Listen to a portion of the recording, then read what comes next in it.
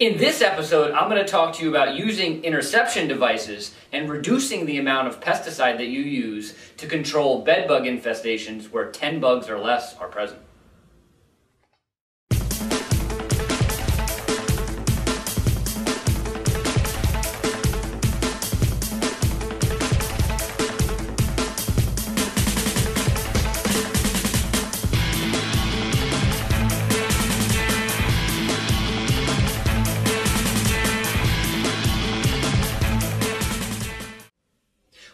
Everybody, to Bedbug TV. I'm your host, Jeff White. And in today's episode, I want to talk to you about some new research that was recently published of Rutgers University, and more specifically, part of Richard Cooper's PhD work, um, that talked about using interception devices to potentially treat, control, and or eliminate small bedbug infestations, so 10 bugs or less. And so, Interception devices, for those that aren't familiar, are what I have here in my hand. This is a blackout bedbug detector. This is a SenSci Volcano bedbug monitor. Um, and then in the study that I'm going to talk about, they use climb up insect interceptors. And what these do is they catch bugs as they move around. And so these you can put under the leg of a better couch and they will catch bugs as they're trying to go to the better couch. These you can put next to a leg or around the perimeter of a room in corners or along baseboards. And the bugs will actually just walk up and fall in these. And the volcano has a lure associated with it, which is called active, um, which will also increase the chance the bugs go into the monitor. And so in this study, what they did is they used interception devices and they put them out not just under legs of beds and couches, but also around the perimeter of a room. And they did so in infestations of 10 bugs or less. And what they found was that when they did that over the course of two months, 60% of those infestations continued to zero or were eliminated and controlled. And that was just through the use of these interception devices. And so obviously very eye-opening results where, you know, you could look at this and say, wow, I did nothing other than put monitors out and got rid of the bugs. Now, in a study as part of this, the control, they didn't do anything. And so what they did is they identified 10 bugs or less and they didn't put any monitors out.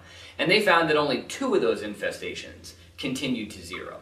And so you can see that there was a significant increase of the infestations continuing to zero when you used interception devices. Now, in no way, shape, or form am I suggesting or telling people to only treat bedbug infestations with just interception devices. Obviously, you're going to want to think about using pesticides and encasements for the bed and, and other control tactics, but it shows you how significant of an impact these devices can have. You know, you can put some of them under the legs or next to the legs, you can put volcano in the corners of rooms, whatever the case may be, and as those bugs are moving around, they're walking up and falling in and they're trapped. Now, the important point is, is that when there's only 10 bugs or less there, they're very unstable. You may only have to pick up one or two bugs and kill one or two bugs, and then the infestation collapses because there's not a reproducing population or whatever the case may be. What it's also doing is it's suggesting that we could potentially reduce the amount of pesticides that we're actually applying through the use of interception devices. And obviously, whenever we can reduce pesticide, that's always a good thing. And so, again, in the study, they basically put out interception devices and found in this study that within two months of putting those devices out in infestations of 10 bugs or less, 60% of them continued to zero.